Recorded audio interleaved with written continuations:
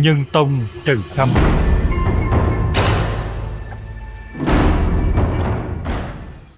Thì kính thưa đại chúng, Đức vua Trần Nhân Tông tên thật của ngài là Trần Khâm hay còn có những cái tên nữa là Trần Nhật Tuấn, Trần Nhật Tôn. Ngài sinh vào ngày 11 tháng 11 âm lịch năm Mậu Ngọ đấy. đấy niên hiệu hiệu Long năm thứ nhất. Ngài là đích trưởng tử của vua Trần Thánh Tông, đích trưởng tử tức là cái đích ấy, tức là với Chánh cung hoàng hậu là con của Chánh cung hoàng hậu. Thì gọi là đích nghe không? con của Chánh cung hoàng hậu gọi là đích. Thế mà là trưởng tử của Chánh cung hoàng hậu. Vì thường vua bao giờ cũng ngoài hoàng hậu ra còn có rất nhiều các phi các tần nghe không? cho nên con của các phi các tần thì không gọi là đích. Cho nên ở đây gọi ngài là đích trưởng tử của vua trần thánh tông và hoàng hậu là nguyên thánh thiên cảm trần thị thiều đó. thì chúng ta biết trần nhân tông là cháu nội của vua trần thái tông nghe không? trần thái tông thì sinh ra trần thánh tông trần thánh tông thì sinh ra trần nhân tông theo Đại Việt Sử Ký Toàn Thư thì Trần Khâm ngay từ khi sinh ra đã được tinh anh của bậc thánh nhân, thuần túy đạo mạo, sắc thái như vàng, thể chất hoàn hảo, thần khí tươi sáng nên vua cha và ông nội Thái Thượng Hoàng Trần Thái Tông đã gọi ngài là Kim Tiên Đồng Tử. Trần Nhân Tông khi sinh ra đã được cái sắc khí của bậc thánh nhân và rất là tuyệt vời và nước da ngài gọi là giống như là vàng óng á.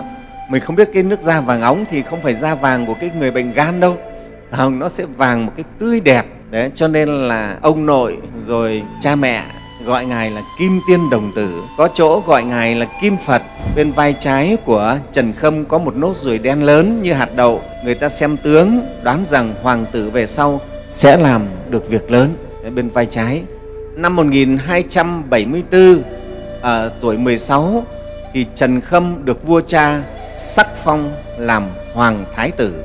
Đó, tức là ngài sinh năm Mậu Ngọ, tức năm 1258.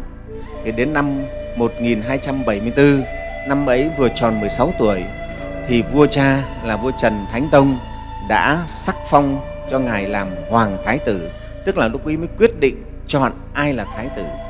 Vua có rất nhiều con là con trai cũng nhiều không phải ít với hoàng hậu chính cung cũng có với các à, phi cũng có thế nhưng mà có những vị vua thì lại chọn con của phi làm hoàng thái tử làm hoàng thái tử tức là người đó sẽ làm vua sẽ lên làm vua ừ trần thánh tông cũng lập trưởng nữ của hưng đạo vương trần quốc tuấn, tức là khâm từ hoàng hậu sau này làm thái tử phi, tức làm vợ đấy.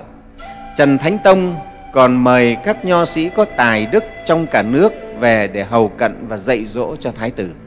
Đấy, tức là thái tử cũng được nuôi dưỡng trong triều với một cái sự dạy dỗ rất là đầy đủ, rất chu đáo sử sách viết rằng trần khâm đã đạt được trình độ cao về các lĩnh vực như quân sự âm nhạc lịch số học và thiên văn học ông cũng học kỹ về tam giáo là phật giáo lão giáo và nho giáo và am hiểu tường tận giáo pháp nhà phật đặc biệt là giáo pháp nhà Phật, Ngài rất là am tường.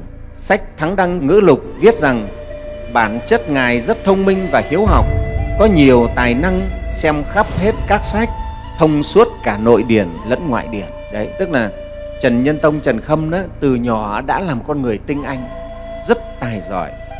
Đấy, như vậy chúng ta thấy là Ngài là phải nhiều kiếp tu hành rồi, chứ không phải một kiếp này.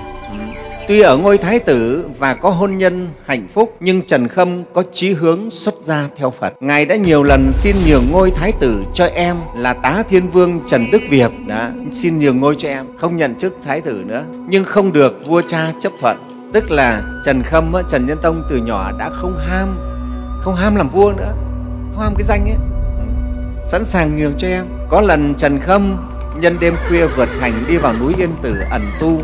Đến chùa Tháp ở núi Đông Cứu thì trời sáng, Ngài đã thấm mệt nên vào nghỉ trong tháp. Vì tu sĩ ở chùa thấy Ngài có dung mạo phi thường, bèn mời cơm. Sau, Trần Thánh Tông và Hoàng hậu biết tin, sai quan quân đi tìm và đưa ông về kinh đô. Trần Khâm bèn miễn cưỡng nhận ngôi thái tử. Đấy, bắt làm vua đấy chứ không phải thích đâu. À, ngoài đời thì người tranh nhau, giành nhau, à, giết nhau cũng thế để vì được làm vua ai mà chả thích phải không ở đây không thích muốn nhường cho em đấy chúng ta thấy một con người như vậy một con người mà không không thèm không màng đến cái danh vọng cái dục về danh vọng như vậy. Đến ngày 22 tháng 10 âm lịch năm Mậu Dần, tức ngày mùng 8 tháng 11 năm 1278 Trần Khâm chính thức được cha truyền ngôi, tức là vua Trần Nhân Tông, năm ấy, ngài 21 tuổi. Đúng năm 21 tuổi thì vua cha truyền ngôi cho, lên làm vua. Trước là mới chọn làm thái tử thôi. Vua Trần Thánh Tông lên làm Thái Thượng Hoàng và cùng trị vì với vua Nhân Tông cho đến khi mất vào năm 1290. Thời nhà Trần, triều Trần ấy có một cái truyền thống là truyền ngôi cho con sớm và mình lên Thái Thượng Hoàng, mình vẫn đồng thời trị nước nhưng mà kèm cặp để cho con trưởng thành chứ không đợi đến già mới truyền ngôi.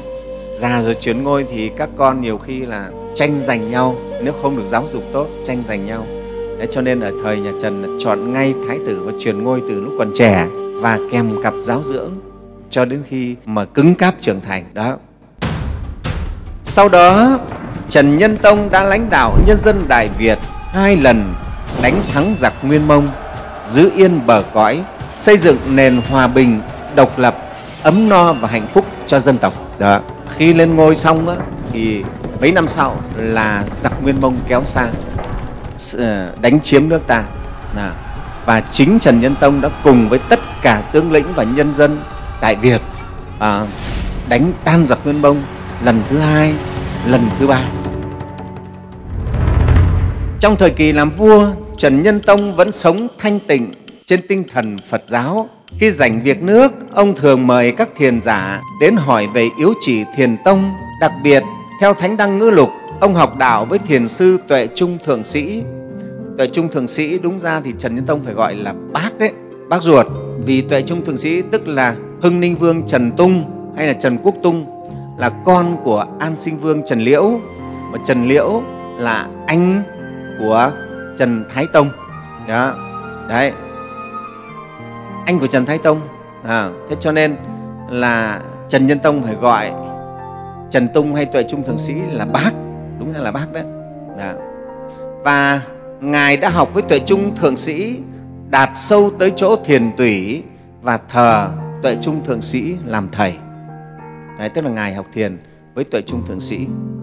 Năm 1299, 41 tuổi, Trần Nhân Tông đã xuống tóc xuất gia và trở về núi Yên Tử tu hành với pháp danh là Hương Vân Đại Đầu Đà. Ngoài cái pháp danh này ra, Ngài còn có những pháp hiệu như là Trúc Lâm Đại Đầu Đà rồi là một số các cái pháp hiệu khác nữa. Ngài thực hành khổ tu 12 hạnh đầu đà và cũng tại đây Ngài đã hợp nhất ba dòng thiền là thiền phái Thảo Đường, thiền phái Vô Ngôn Thông, thiền phái Tỳ Ly Đa Nu Chi thành một lập nên thiền phái Trúc Lâm Yên Tử hợp ba dòng thiền trước đó ở Việt Nam lại với cái cương vị địa vị của Ngài là một Thái Thượng Hoàng đi tu cho nên Ngài có thể làm được việc này.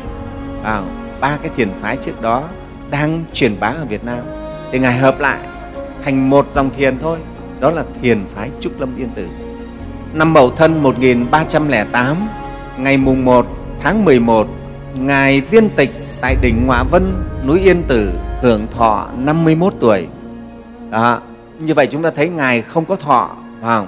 51 tuổi không phải là thọ cao đó. nhưng mà cuộc đời của Ngài vô cùng hiền hách, phải không? đó, chúng thấy cuộc đời không dài 51 tuổi trong ba vị tổ trúc lâm à, sơ tổ trần nhân tông nhị tổ pháp loa và tam tổ huyền quang thì sơ tổ họ 51 tuổi nhị tổ có 47 tuổi thôi ngài pháp loa. Và tổ huyền quang thì mới được thọ đến 80 tuổi. Đó. còn hai vị tổ đầu thì thì tuổi thọ không cao. Nhưng mà công đức của các ngài thì rất là to lớn. Thì đó là thầy nói sơ qua về tiểu sử của Đức Vua Phật Hoàng Trần Nhân Tông, sơ tổ của thiền phái Trúc Lâm Yên Tử.